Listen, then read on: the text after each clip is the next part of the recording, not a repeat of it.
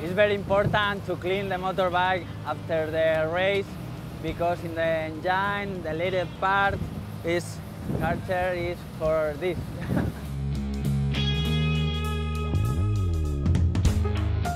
It's very important to see everything what's probably broken or there's some bolts who are loose. You can see when everything is dirty.